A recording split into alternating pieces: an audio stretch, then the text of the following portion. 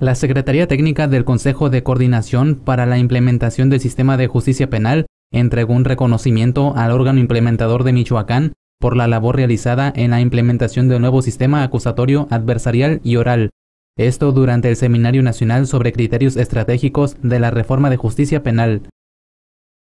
En este acontecimiento participan los titulares de los órganos implementadores del nuevo sistema de justicia penal en cada una de las entidades, el cual se realiza durante los días 16, 17 y 18 de agosto del año en curso en la Ciudad de México. Durante el seminario se abordarán distintos temas de interés mediante mesas de análisis y ponencias de docentes especializados, los cuales toman vital importancia para continuar con el seguimiento y la evaluación del sistema de justicia acusatorio y oral en cada uno de los estados de México.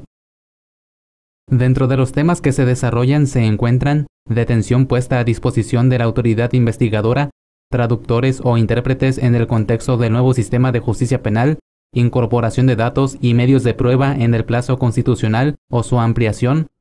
tortura, medida de seguridad, seguimiento y supervisión a medidas cautelares, suspensión condicional del proceso y libertad condicional,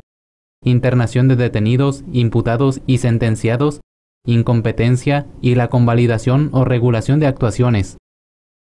Los especialistas encargados en impartir las ponencias son los magistrados José Nieves Luna Castro, Héctor Lara González, Ricardo Paredes Calderón y Liliana Mónica López Benítez, así como los jueces Jaime Santana Turral, César Augusto Sánchez Góngora y José Artemio Zúñiga Mendoza, todos ellos pertenecientes al Poder Judicial de la Federación.